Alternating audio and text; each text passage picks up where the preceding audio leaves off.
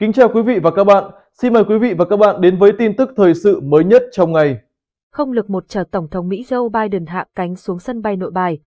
Chiếc Air Force Force One, không lực một chở Tổng thống Mỹ Joe Biden vừa đến sân bay nội bài Hà Nội. Sau nghi lễ đón ở sân bay nội bài, Tổng thống Joe Biden về phủ chủ tịch dự lễ đón do Tổng bí thư Nguyễn Phú Trọng chủ trì. Đón Tổng thống Mỹ và đoàn tại sân bay có trưởng ban đối ngoại Trung ương Lê Hoài Trung, Chủ tịch Hội đồng Nhân dân thành phố Hà Nội Nguyễn Ngọc Tuấn, Đại sứ Việt Nam tại Mỹ Nguyễn Quốc Dũng, Thứ trưởng Bộ Ngoại giao Hà Kim Ngọc, Cục trưởng Cục Lễ Tân Nhà nước, Bộ Ngoại giao Nguyễn Việt Dũng, cùng một số cán bộ ban đối ngoại Trung ương, Bộ Ngoại giao. Theo thông cáo của Bộ Ngoại giao, Tổng thống Mỹ Joe Biden thăm cấp nhà nước tới Việt Nam trong hai ngày 10 đến ngày 11 tháng 9 theo lời mời của Tổng bí thư Nguyễn Phú Trọng. Đây là chuyến thăm Việt Nam đầu tiên của Tổng thống Joe Biden kể từ khi ông nhậm chức đầu năm 2021. Tháp tùng Tổng thống Mỹ có Ngoại trưởng Antony Blinken, Đại sứ Mỹ tại Việt Nam Mark Napper, Cố vấn an ninh quốc gia Jake Sullivan, đặc phái viên về khí hậu của Tổng thống John Kerry, trợ lý Tổng thống, Phó Cố vấn an ninh quốc gia John Fine, Phó trợ lý Tổng thống, điều phối viên đặc biệt Hội đồng an ninh quốc gia Kurt Campbell,